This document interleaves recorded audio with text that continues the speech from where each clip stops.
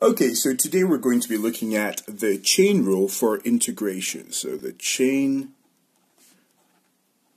rule for integration and how it can also be applied to trig. Okay, so the chain rule for integration is that if you're going to integrate a function within a function, so this is our inside function and this is our outside function, then the rule dictates that you integrate the outside function. So I'm going to use capital F to denote the integral of the outside function. Do not change what's inside the brackets. And then divide by the derivative of what's inside the brackets. Now, I do mean derivative, even though we're integrating, uh, you need to differentiate the uh, function inside and divide by it. And don't forget, plus c. So here is our chain rule for integration, and you will not be given this in the exam. You need to know it. okay, so a um, couple other bits of information. The integral of sine x dx is negative cos x, so it's the opposite of differentiation, and the integral of cos x dx, don't forget the dx, is positive sine x, and in the higher exam you're given these, so you don't need to remember them, which is pretty good. Okay, so a couple of examples.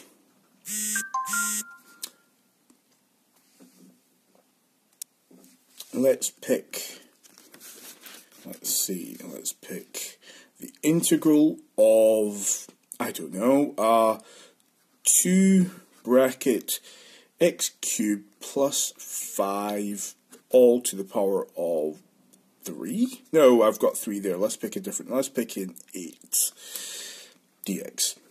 Okay, so we're going to integrate this. So, the rule states that you add 1 to the power so let's write down our equation as is. Add 1 to the power, so that becomes a 9. Divide by the new power, like so. so you can see I've integrated the outside function, I've added 1 to the power, and divided by the new power. Then you also divide, just going looking back at this, you also divide by the derivative of what's inside the bracket. So I'm going to do exactly that. The derivative of this would be 3x squared plus 0. Don't forget the plus c, and we just tidy this up, and we're done. So that's going to be 27x squared, so it's going to be 2x cubed plus 5 to the power of 9 over 27x squared plus c. And obviously, if these two numbers could be simplified, I would. And that's it. Let me pick another one. Um, let's do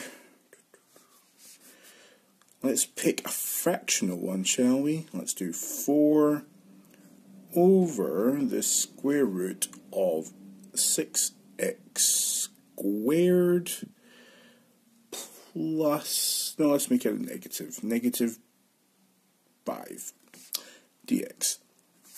Okay, so currently this is not in a differentiable form.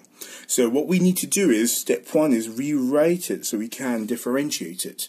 So this thing, this entire thing is to the power of a half. If you remember from Nat 5 math, um, the square root can be rewritten as a power of a half.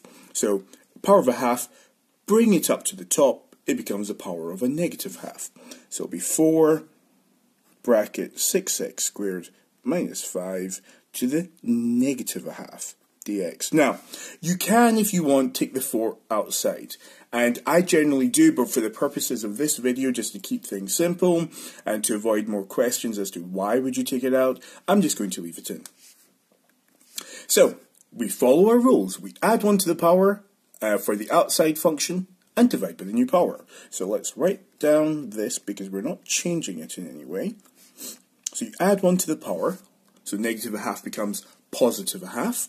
Divide by the new power, like so. And we also divide um, by the derivative of what's inside the brackets, which would be 12x, because the derivative of 6x squared is 12x and the derivative of negative 5 is just 0, so we don't bother with that. Plus c, obviously. Tidy this up. So half of 12x is 6x. 4 over 6 can be simplified to 2 over 3, so it'll just be 2. This I'm going to change back into a square root, like so, over 3x plus c. So I actually skipped a step or two there, um, but hopefully that makes sense. If it doesn't, leave a comment down below and I'll explain it in more detail. Okay, let's pick one more using a trig, uh, trig function. Let's do the integral of cos uh, 3x. Simple as that. Now, in order to integrate this, there are no brackets, so we need to introduce an inside function and an outside function, so we need to introduce brackets. So we're going to rewrite it as the integral of cos 3x dx. In other words, 3x has become our inside function and the cos is our outside function. Integrating this, it will be, um, integrate the outside, which becomes sine. Don't change what's inside the brackets. Now, I really should stress, no powers get added, no powers. There are no powers when you're dealing with uh, trig, at least not in higher maths there are techniques, so if it was cos squared or cos cubed or something to that effect, there are techniques to do that, but not in higher math. So I'm going to stick with uh, the higher math level, and in that level, um, we don't have any power. So what you would not do is add a power or anything. That would be incorrect. So once you've integrated the outside, you now need to divide by the derivative of what's inside the brackets, and the derivative of 3x is simply 3, don't forget the plus c, and this can be rewritten as a third sine 3x plus c, or sine 3x over 3. It doesn't matter. What you cannot do is cancel these two 3's out. That would be incorrect. And that's it. Hope that was helpful. If you have any questions, please ask below. And if it was helpful, please like, comment, and subscribe. Thanks.